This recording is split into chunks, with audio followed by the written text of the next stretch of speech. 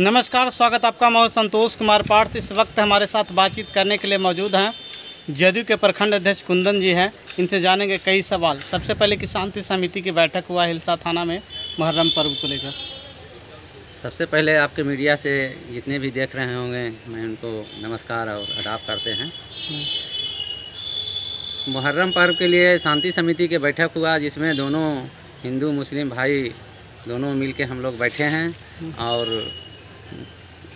दोनों हिंदू मुस्लिम भाई के हम कहते हैं कि मुहर्रम पर्व के पहले मैं डीजे पर खास प्रतिबंध पर ज़ोर दिया गया है। डीजे से तो हम लोग भी कहते हैं कि डीजे में बहुत दिक्कत है। जैसे हार्ट वाला रोगी को लिए सबसे पहले ख़तरनाक है। डीजे पर सरकार जो लगाई है रोक उस पर हम लोग कहते हैं कि, कि सबसे पहले लगना चाहिए। और मुहर्रम पर्व पर कहते हैं कि भाईचारा का जो पर्व है इसे हम लोग हिंदू मुस्लिम भाईचारा बना के मनाएँ। और सावन महीना हिंदू का भी जो पर्व है पवित्र महीना है उसमें हम लोग हिंदू भाई भी कहेंगे कि खुशियों से मनाएँ। अभी से प्रशासन तैयारियाँ कर रही है श्रावण हो चाहे रक्षाबंधन हो दुर्गा पूजा हो आगामी जितने भी पर्व है पहले से तैयारी हो किस तरह की कोई परेशानी ना हो। प्रशासन का तो काम है अपना कि वो अपना महीने में जो सावन महीना है, उसमें पूरा तन, मन जैसे हिंदू और मुस्लिम दोनों का पर्व मिल रहा है। तो इसके लिए प्रशासन का थोड़ा सा तनदेही देना काम है।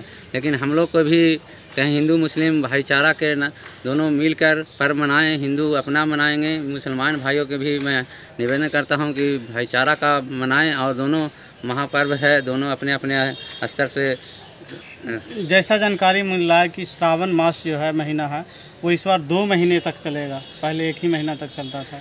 ये ये तो तीन साल पर अथी लगता है लॉन्ग लगता है।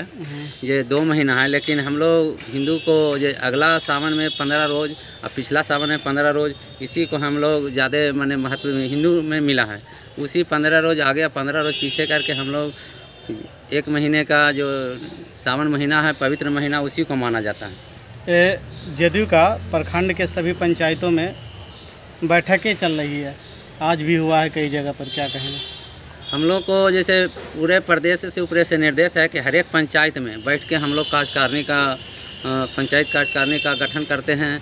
जो हर एक पंचायत में जा जाकर हम लोग करते हैं। आज रेड़ी पंचायत और आषाढ़ी पंचायत, दो पंचायत में आज बैठक किए उसके बाद हम लोग शांति समिति के बैठक में भी हम लोग उपस्थित हुए। हम लोग तो पार्टी का जो निर्देश है उसका पालन करते हुए भी सरकार का भी निर्देश के पालन कर रहे हैं।